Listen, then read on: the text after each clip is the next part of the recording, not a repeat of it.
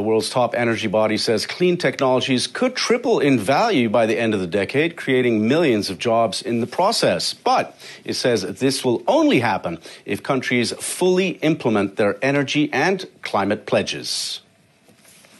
The International Energy Agency says in a new report that the world is entering an age of clean energy manufacturing.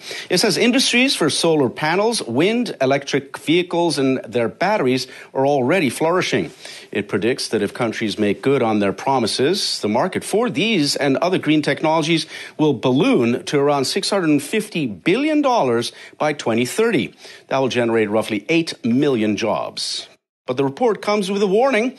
It says resource mining, processing, and manufacturing are concentrated in too few hands. One example is lithium, essential for EV batteries. Australia, Chile, and China account for more than 90% of global production.